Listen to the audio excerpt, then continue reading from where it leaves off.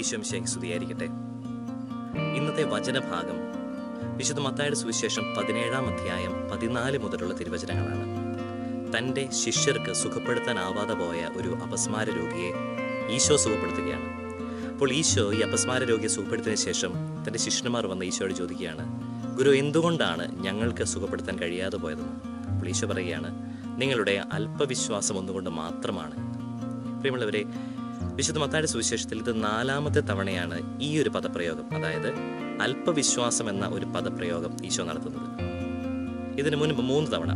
മത്തായുടെ സുവിശേഷം എട്ടാം അധ്യായത്തിൽ കൊടുങ്കാറ്റിനെ ഈശോ ശാസിക്കുമ്പോൾ ഈശോ പറയുന്നുണ്ട് അല്പവിശ്വാസികളെ നിങ്ങൾ എന്തിന് ഭയപ്പെടുന്നുവെന്ന്? നോക്കുക.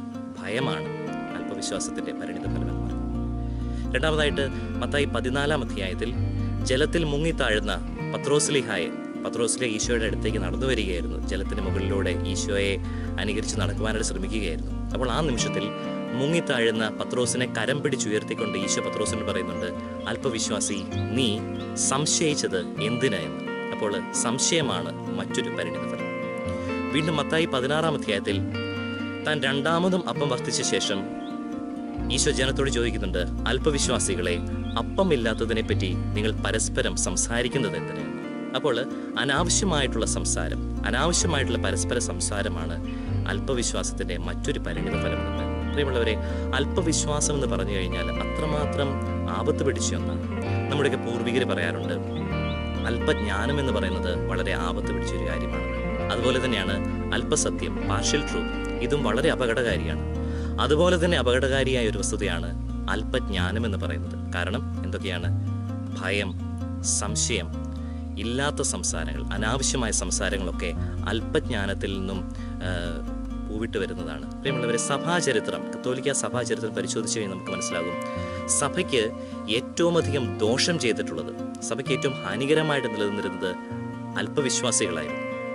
സഭാചരിത്രത്തിൽ രണ്ട് വിഭാഗം ആളുകളെ നമുക്ക് കാണുവാനായിട്ട് കഴിയും. ഒന്ന് പാഷണ്ഡത അതായത് ഹെറസി പ്രചരിപ്പിച്ച വ്യക്തികളുണ്ട്.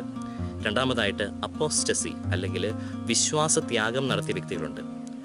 പാഷണ്ഡത എന്ന് പറയുമ്പോൾ അത് മാമോദീസായ്ക്ക് ശേഷം വിശ്വാസ സത്യങ്ങളിൽ ഏതെങ്കിലും ഒന്നിനെ ഏതെങ്കിലും ഒന്നിനെ ദുർവാശിയോടുകൂടി നിരാകരിക്കുക തള്ളിക്കളയുന്നതിനെയാണ് പാഷണത എന്ന് പറയുന്നത്. അതായത് വിശ്വാസമുണ്ട് അവർക്ക് അവർ മാമോദീസ സ്വീകരിച്ചവരാണ് എങ്കിലും ഏതെങ്കിലും ഒരു സത്യത്തെ അവർ തള്ളിക്കളയുന്നു എന്നാൽ അപ്പോസ്റ്റസി അല്ലെങ്കിൽ വിശ്വാസത്യാഗം വ്യത്യസ്തമാണ്.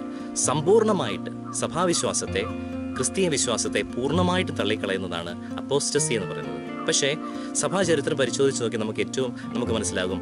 ഏറ്റവും കൂടുതൽ സഭയ്ക്ക് മുറിവേൽപ്പിച്ചിരിക്കുന്നത് ഈ പാഷണ്ടികളാണ് ഉദാഹരണത്തിന് ഏരിയനിസം ഡൊണാറ്റിസം പെലാജിയനിസം ഇതൊക്കെ പ്രചരിപ്പിച്ച വ്യക്തികളൊക്കെ അല്പസ്വല്പ വിശ്വാസമുള്ളവരൊക്കെ തന്നെയായിരുന്നു. പ്രിയമുള്ളവരെ ഇന്നും സഭയ്ക്ക് തിരുസഭയ്ക്ക് ഏറ്റവും അധികം മുറിവേൽപ്പിക്കുന്നതും ദോഷം ചെയ്യുന്നതും ഒരുപക്ഷെയൊക്കെ നമ്മളൊക്കെ തന്നെയാണ്. അല്പവിശ്വാസികളായ ഞാനും നിങ്ങളൊക്കെ തന്നെയാണ് ഒരുപക്ഷെ സഭയ്ക്ക് ഏറ്റവും കൂടുതൽ മുറിവേൽപ്പിക്കുന്നത്. ഭയം മൂലം സംശയം മൂലം അനാവശ്യ കാര്യങ്ങൾ അതായത് ഇല്ലാത്ത സംസാരങ്ങൾ മൂലം എന്താണ് സംഭവിക്കുന്നത്? തിരുസഭയ്ക്കുള്ളിൽ വലിയ ഭിന്നതയുണ്ടാകുന്നുണ്ട്. തിരുസഭയ്ക്കുള്ളിൽ എന്തെന്നില്ലാത്ത സംശയങ്ങൾ വിശ്വാസ സത്യങ്ങളെക്കുറിച്ച് പോലും സംശയങ്ങൾ ഉണ്ടാകുന്നുണ്ട് ഈ അടുത്തിടയ്ക്ക് ഒരാൾ പറയുകയാണ് എനിക്ക് വൈദിക വർഗത്തോട് തന്നെ പൂർണമായിട്ട് വെറുപ്പാണ്. എനിക്ക് മാർപ്പാപ്പായോട് വെറുപ്പാണ്. ഇത്തരത്തിലൊക്കെയുള്ള ആശയങ്ങൾ വരുന്നത് നമുക്ക് അല്പവിശ്വാസമുള്ളപ്പോഴാണ്. പേരും നമ്മൾ മാമോദിസ സ്വീകരിച്ചു വിശ്വാസികളാണ്. പക്ഷേ ആഴമായ വിശ്വാസത്തിലേക്ക് നമ്മളെല്ലാവരും കടന്നു വരേണ്ടിയിരിക്കുന്നു. അല്ലെങ്കിൽ സഭയ്ക്കുള്ളിൽ ഇത്തരം ഭിന്നതകളുണ്ടാകും. പരസ്പരം ചെളി പൂശി തേക്കുന്ന ഒരു ഒരുതരം പ്രവണതയുണ്ടാകും. ഇതിനെയൊക്കെ തരണം ചെയ്യണമെങ്കിൽ അല്പവിശ്വാസത്തെ നമ്മൾ തരണം ചെയ്തേ മതിയാവും. അപ്പോൾ അല്പവിശ്വാസത്തിന് പകരമായിട്ട് പൂർണമായ വിശ്വാസം എന്നുണ്ടോ? ഇല്ല. പൂർണ വിശ്വാസത്തെക്കുറിച്ചല്ല നമ്മൾ ചർച്ച ചെയ്യേണ്ടത്. മറിച്ച് ആഴമുള്ള വിശ്വാസം. അത് നമ്മളെക്കൊണ്ട് സാധ്യമാണ്. വചനം പരിശോധിച്ചാൽ നമുക്ക് മനസ്സിലാവും. ഈശോ അല്പവിശ്വാസികളെ എന്ന് വിളിക്കുന്നത് പത്രോസിനെയും തോമാസ്ലിഹയും ഒക്കെയാണ്. പക്ഷെ ഇവരൊക്കെ പിൽക്കാലത്ത് ആഴമേറിയ വിശ്വാസം പ്രകടമാക്കിയവരാണ്. എപ്പോഴാണ്? പന്തക്കുസ്തായ്ക്ക് ശേഷം. പരിശുദ്ധാത്മാവിൽ അവർ നിറഞ്ഞു കഴിഞ്ഞപ്പോൾ ആഴമേറിയ വിശ്വാസം അവർ പ്രകടമാക്കുന്നുണ്ട്. പ്രിയമുള്ളവരെ നമുക്കും ഒരു പുതിയ പന്തക്കുസ്തായുടെ ആവശ്യമുണ്ട്. പരിശുദ്ധാത്മാവിനാൽ പൂരിതനായിട്ട് പൂരിതരായി അല്പവിശ്വാസത്തെ പൂർണമായി വെടിഞ്ഞ് ആഴമേറിയ വിശ്വാസത്തിലേക്ക് കടന്നു വരാനും നമുക്ക് ശ്രമിക്കാം. ഈ ആഴ്ചത്തെ വചനഭാഗം അതിനുവേണ്ടി നമ്മളെ ഒരുക്കട്ടെ. എല്ലാവർക്കും സ്തുതിയായിരിക്കട്ടെ. ആമേൻ.